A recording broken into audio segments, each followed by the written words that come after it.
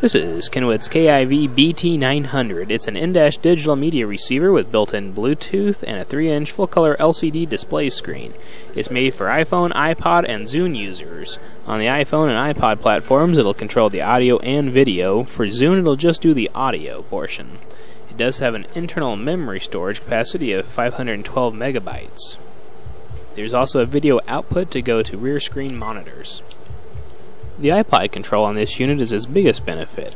It allows you to search through all of your list, your playlists, artists, albums, songs, podcasts, genres, composers, and audiobooks. For this, we'll select the artist. Once you select artist, you can use the scroll knob to go through the songs, or use the scroll bar, which will go up and down a page at a time, making search faster. Or if you're looking for a specific song, there's three ways to do it. You can use a direct search, alphabet search, or skip search. We'll try direct search. You use either your music or videos, select where you want to search, in this case artist, and use the first three letters of it to pick which song you want to find. Well, here we'll use Blues Traveler. Find it on the list, takes us here.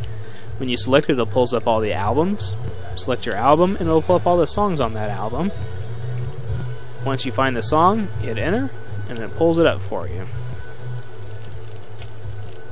It'll give you album art, song title, artist, album name, date, time, and you can switch the different views for a large album art or for date and time from the calendar picture.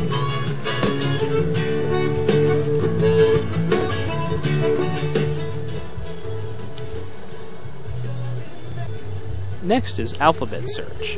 This allows you to select which letter you want to search by, and it will take you to that point in the iPod. Lastly, we'll show you skip search. This allows you to select 10%, 5%, 1%, or half a percent using the iPod scroll bar. Using the scroll bar, it will jump you 10% further down the line on your iPod. This allows for faster searching. Next, we'll back out of the menu and take you to videos.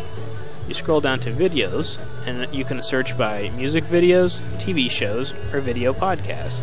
This will go to movies. We have a movie lined up on our list, so we'll select it, and it'll immediately start playing.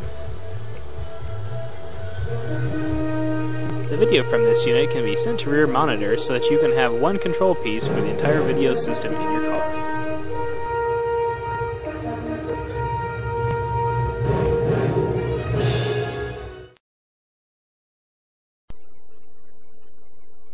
In addition to the great iPod control of this unit, it also has some pretty cool features. One of them is variable color select. To get into this menu, we'll go to Settings, and then Display and Illumination, and then finally select Key Color Select.